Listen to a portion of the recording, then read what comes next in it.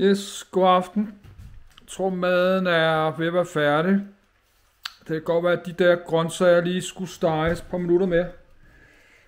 Men de har da fået, øh, nu ringer ved æggeuret også. De har da i hvert fald fået lidt farve og blevet lidt øh, møre. Så lad os bare blande det op. Jeg skal lige vende øh, kameraet. Yes, de har da fået lidt farve og sådan noget. Men det er også sådan lige en hårfin grænse, med enten så er de så okay nu, og så steger man på lige 5 minutter mere, så er de helt sort. Og det er så de der kajris. Der har jeg taget øh, sådan kun et mål. Et mål og en lille smule top på. At de gode, øh, det er så gode jas, jasminris eller basmati. Jeg fandt det her glas, som har stået op på det der skab her. Det stod deroppe 10 år og samlet støv. Der står også en masse ting heroppe. Der er nok fuldkommen stået deroppe. Så og jeg skal lige huske, at det der olie her, når man steger grøntsager, det kommer altså med i, uh, op i maden jo. Så det er bare sådan noget billig øh, uh, restbolle. Jeg ved ikke, stille kameraet øh, her, så vi kan filme og øse op. Men der er altså ikke sådan meget ris. Der er der altså ikke. Det er, også, det er også svært at måle op, hvor meget skal jeg. Man skal ikke så meget ris som før. Se, nu ligger der en lille klat olie der. Det kan jeg lige tørre af med, øh, tørre af med, der ligger en lille smule restbolle. Fordi jeg har lagt paletkniv, så kommer lidt olie på. Kunne jeg jo lige tørre af, der, så har jeg lige sparet på gram fedt her.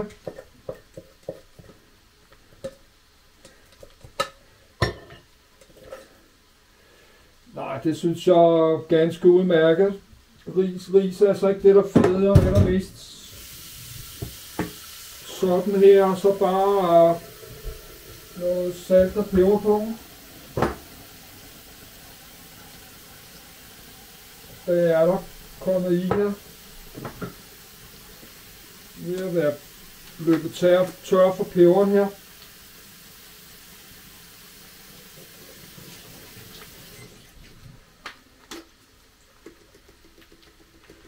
Ja, den er altså stor, så vi kan køle øh, den der peber ud her hvis det er en ekstra, der nu min mor købte til mig der. Lad os putte noget øh, timian på. Øh, jeg synes ikke, at putte øh, ketchup på. Men det kunne man øh, selvfølgelig også. Det gør jeg ikke lige nu. Og lidt mere salt. Og så alle de der grøntsager her. Jeg har bare taget øh, de gulerødder, der nogle gange var.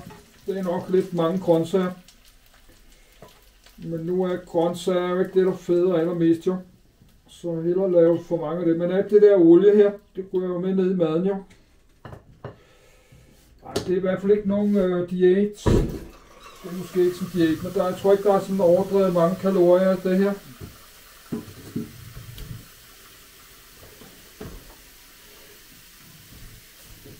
Så vil jeg lige øh, tørre. Der ligger et på løg her. Det er lidt slukket for panderne. Nej, slukket for blusene.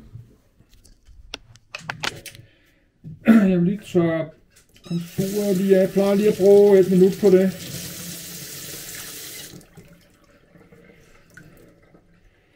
Lige tørre kogepladerne af her.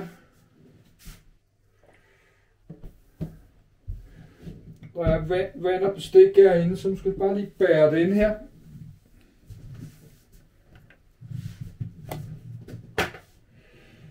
under tæppen.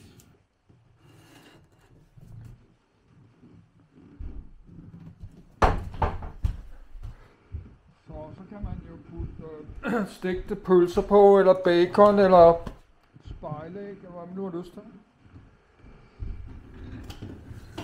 Yes. Det skal der nok smage øh, fint.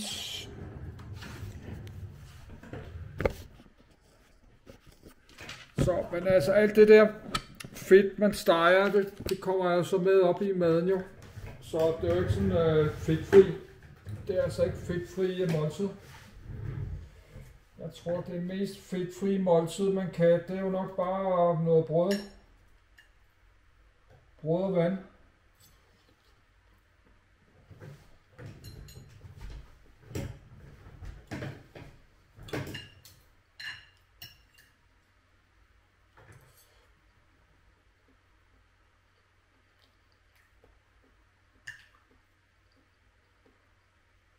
Men der er nok nærmest til, øh, og nok nærmest godt dele det her i to portioner. Man kan godt dele det her i to. Men det er, det er altså ikke det, der føder allermest. Det er det altså. Jeg har svært ved, øh, så skal jeg så åbenbart ikke. Jeg skal, man godt, man godt lige dele det i to. Så jeg skal nok ikke have top, top på de der ris der. Det er ikke så mange ris, man skal lige huske, der kommer noget på også oveni jo.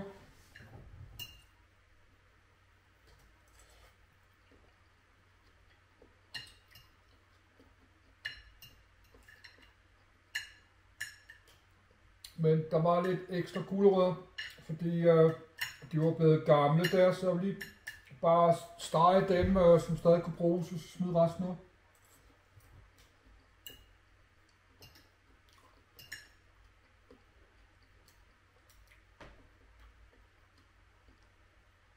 Det smager fint nok. Man skal bare vente sig til. Der skal følge det der saltede øh, tomato sauce. Jeg tror hjemme har det til 65 kroner.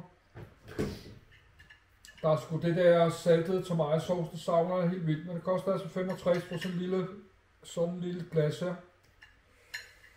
Øh, hjemme har det der, jeg tror min mor købte det til mig nogle måneder siden, mange måneder siden.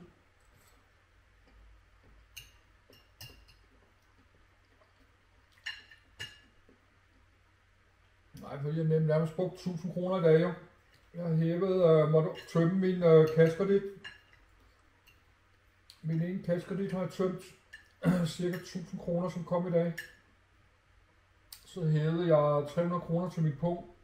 Det er penge, øh, der ikke må bruges. Det er bare penge, der skal ligge i mit punkt.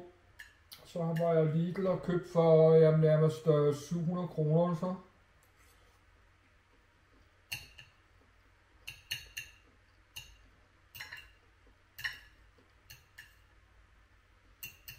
Også begyndt at bruge min øh, shopkredit, så er der heller ikke rigtig nogen penge der.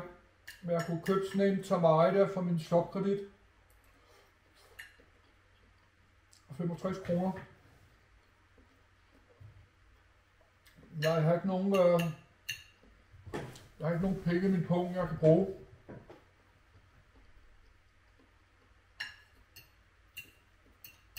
De øh, penge, jeg har i min pung, de skal bare blive liggende sådan at jeg føler mere tryg ved, at, når jeg går ud, og jeg er et par kilometer væk fra mit hjem, jo.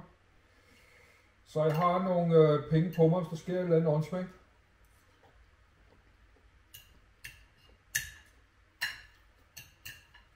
Også når jeg cykler ned til Lønby, jamen, så har jeg lidt øh, penge på mig nu.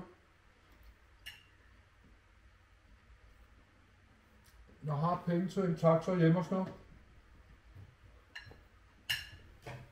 Hvis jeg vælter på min cykel, eller forstuer mit ben, eller et eller andet der. Eller min cykel går i stykker, eller sådan noget.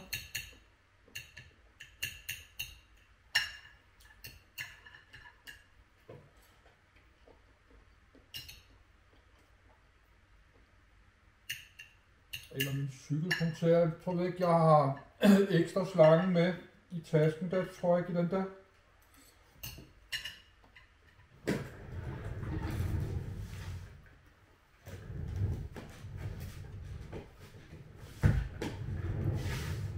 En ekstra cykelslange. Den ligger her. Den skal ikke ligge der. Den skal ned og ligge i min øh, taske. Men jeg har en anden øh, rygsæk, hvor mit cykel, øh, jeg skal også bruge nogle øh, dækjern og sådan noget. Det ligger en anden øh, blå rygsæk, der plejer når cykeltræner.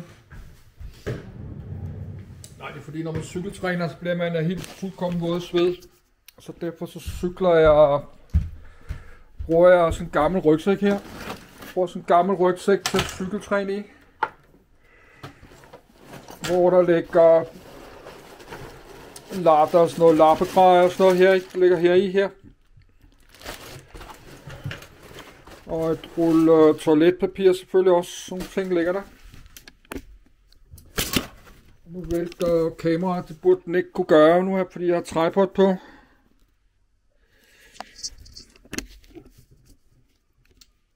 Yes, men det er så det, der skulle ligge. Der er så noget brillerens, det skal så ikke ligge øh, hernede i. Ja, der ligger de der dækjern og lidt småværktøj. Toiletpapir. Skruetrækker og sådan noget. Og nu sidder jeg lige og spiser. Nej, det er den jeg bruger, fordi den blev helt våd sved her. Så det, den her rygsæk, den er til, øh, den var til skolebrug, og altså når gå går ind i København så. Det det, jeg kommer til at stinke af gammel rødden sved. Når man har svedt øh, flere hundrede liter sved, ja.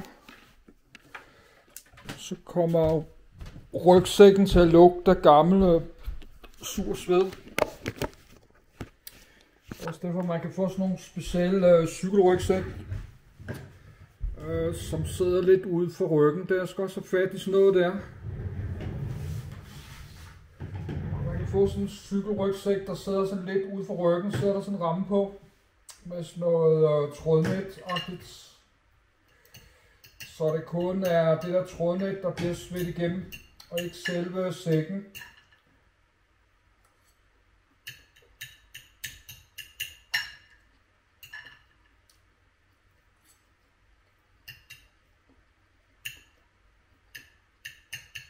Det er jo fordi jeg er overvægtig, så jeg vil altid svede meget, jo indtil jeg kommer ned, jeg er på 75 kilo eller sådan noget.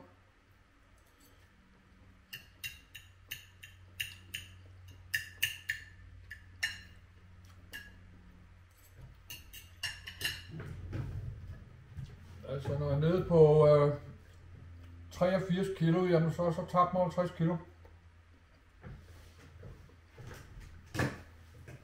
Kan også godt sagtens tabe mig til 78 eller så. Jeg tror min normalvægt er jo nok omkring 80 kilo.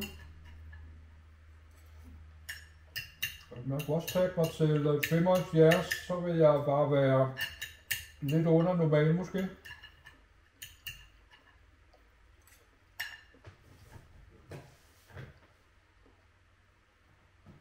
Nej, jeg tror, jeg skal tabe mig under 85 kilo, og så skal jeg aldrig over 85 kilo igen. Sådan at jeg ligger omkring øh, ja, 78 og 84 kilo.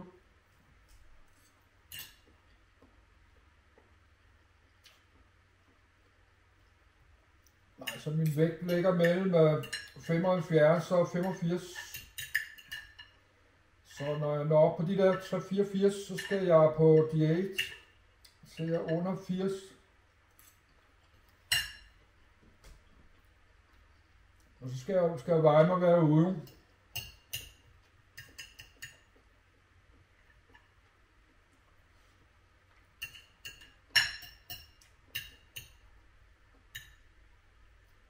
Men jeg har jo aldrig, øh, jeg har aldrig sådan talt kalorier og sådan noget, hvis skal jeg så nok gøre? Så nok købe sådan en lille, sådan en lille Kina notusbog.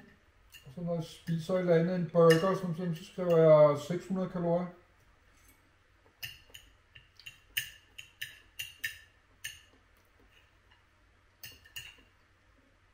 Nej, sådan en uh, Big Mac burger fra McDonald's skulle have cirka 600 kalorier. Og så, men så er der så også andre, så er der de der dobbelt, så er der dobbelt uh, med dobbeltburger i. De så ser over 600. Jeg tror, den største menu McDonald's med øh, uh, dobbeltburger, pomfritter og cola, det er 1500 kalorier. Så hvis man spiser sådan en, så må man ikke sådan spise mere end det. Ja, så må man lige spise uh, et stykke rugbrød eller to.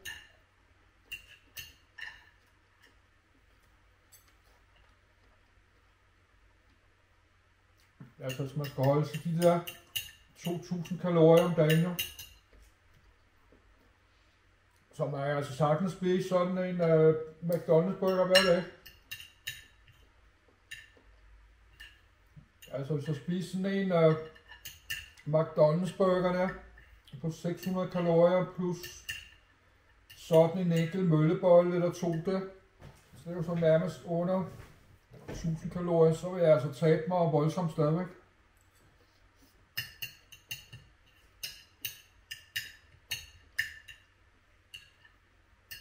Så hvis jeg kan gå en hel dag og øh, kun spise en ostebolle, jamen, så kan jeg så også gå en hel dag og spise en lækker burger der. Men jeg har ikke øh, penge til nu. Jeg laver en eller anden video med øh, lever af McDonald's øh, 100 dage eller så.